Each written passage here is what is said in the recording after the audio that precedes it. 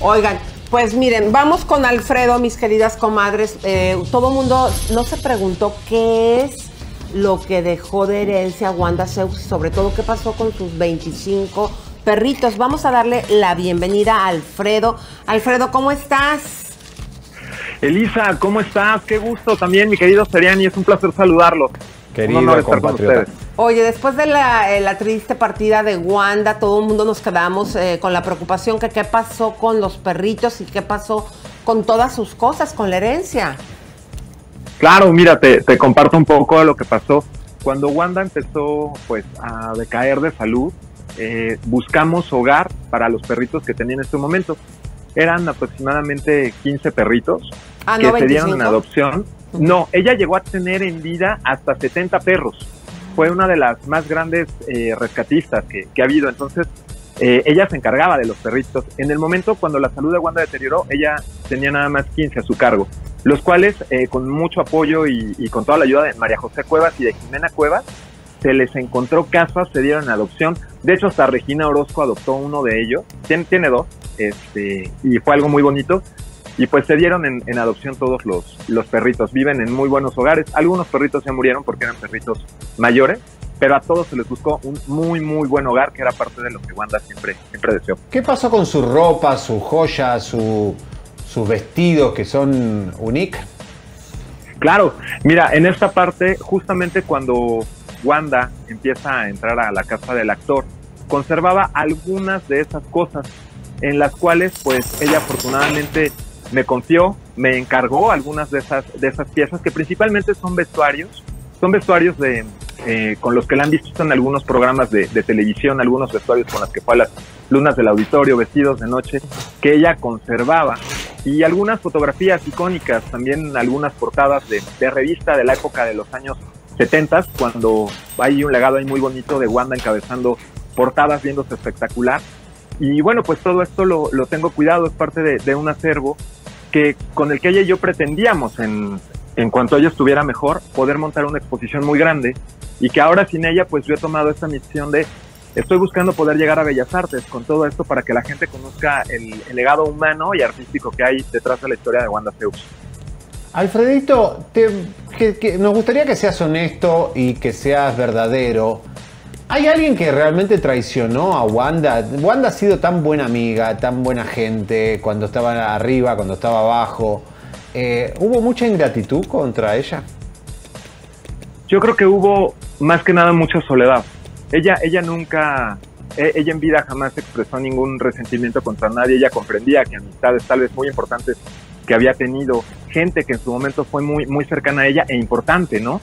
No estuvieran en, los días más difíciles para ella, ¿no? Porque justamente cuando Wanda enfermó, pues el caso saltó a la televisión, a Wanda la vieron, la vieron casi morir en el hospital de Joco por, la, por los infartos cerebrales que le vinieron y luego la podían ver renacer, la pudieron ver caminar, caminar, eh, volver a, ver, a vestirse como una diva, volver a agarrar este periodo de la vida y luego le vino de nuevo un, un ocaso que fue el que nos la, el que nos la arrancó. Pero en todo ese trayecto, queridos amigos, yo creo que Wanda siempre tuvo en su corazón los buenos recuerdos con la gente y, y aunque sí hubo mucha soledad y hubo muchas personas que le puedan haber faltado, ella nunca lo, lo, lo tomó de esa manera. Ay, pues qué buena labor estás haciendo, Alfredo. Estaremos pendientes y muchas gracias por haber platicado con nosotros aquí en Chisme No Like. Pues van a ser invitados de honor a esto justamente el 2 de septiembre. Se cumple el primer año sin, sin Wanda Seux, en este año hubiera cumplido y hubiera celebrado 73 años con nosotros. Y estoy eh, organizando un, un, homenaje. Vamos a ver de qué manera, con, con qué amigos de ella puedo contar para, para dar un, un, homenaje a este primer año sin, sin Wanda y pues seguirla recordando, porque creo que la, la, verdadera muerte aparece cuando las personas caen en el olvido. Y Wanda está viva. Estoy buscando, como les conté la vez pasada, también poder eh, darle vida a esta serie, porque Wanda me contó capítulos de su juventud, algunas historias con las que hay material muy bueno para poder dar vida a una serie biográfica. ¿Quién podría ser Wanda? ¿Quién podría ser Wanda? ¿Qué artista podría ser el papel de Wanda?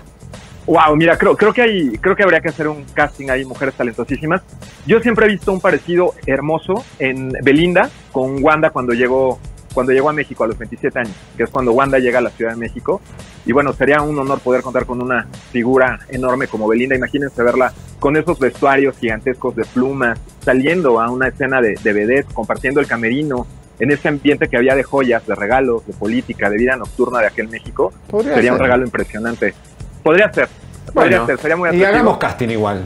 Claro, Y muchas hacer un casting también, claro. Dale, gracias Alfredito. gracias, Alfredo. Oigan, comadres. Les mando un abrazo enorme. Un beso. Gracias, Alfredo. ¿Y ustedes sabían que hay un, eh, una enfermedad mortal que ataca a una gran parte de la población? Fíjate, en el mundo hay 32 millones de personas que nos ha dado esta enfermedad que se llama eh, artritis reumatoide. Fíjense ustedes que nos dimos cuenta que Niurka todo indica como que la padece, ¿no? Sí, sí, hace mucho ya. eh, Nos dijo mucha gente cercana a ella. No es por la cara, la artritis no la tiene en la cara, ¿eh? es en los pies. ¿Y quién le puso asco? ¿Por qué le pusieron asco? No, ella misma se burla de ella misma. Miren, señores, ahí se ven los pies de Niurka. Bueno, también está viejita ya, ¿no? Es una señora grande. Este. Y bueno, Yo, pienso que ya se deformó los pies con los tacones, así se les hacen a sí, tiene mujeres. tanto taco No, en la pero, vida. pero a ella se le ve muy chiquito, mi amor. ¿Vos decís que, que- que son los tacos, Leo?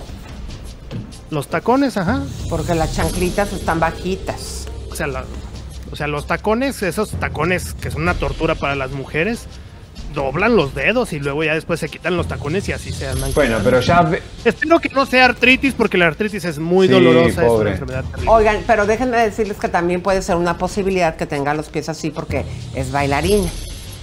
Las bailarinas no tienen los Y porque ya bonitos. le pasó el tiempo, Elisa. Uno la ve a Ñurka que está queriendo mentir de la. ¿Me entiendes? O sea, pero realmente este, es una señorita mayor ya, o sea, una señora.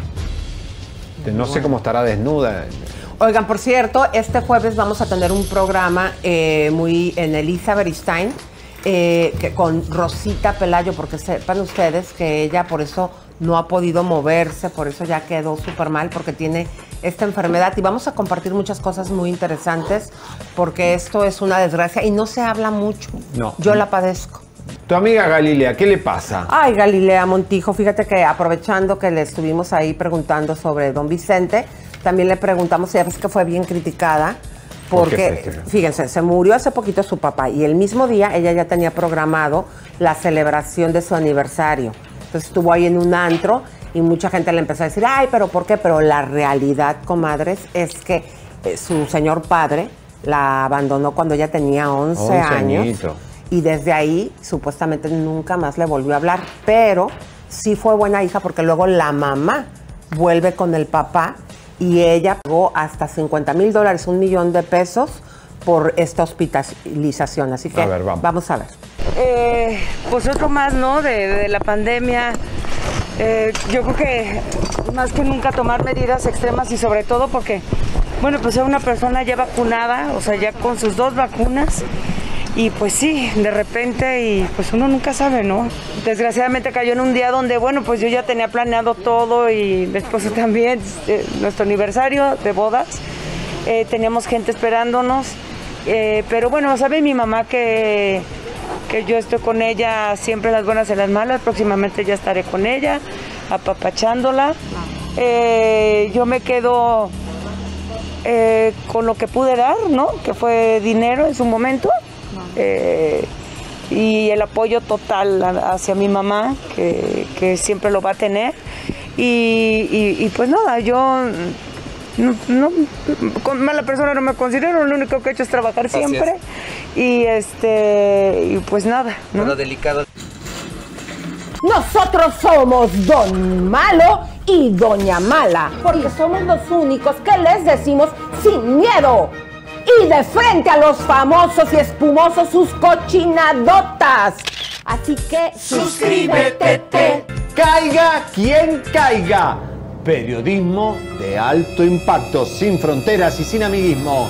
¡Vamos! Compártete. Ven al bombardeo de lunes a viernes en la brújula de la farándula chisme, no like y campanita tan tan.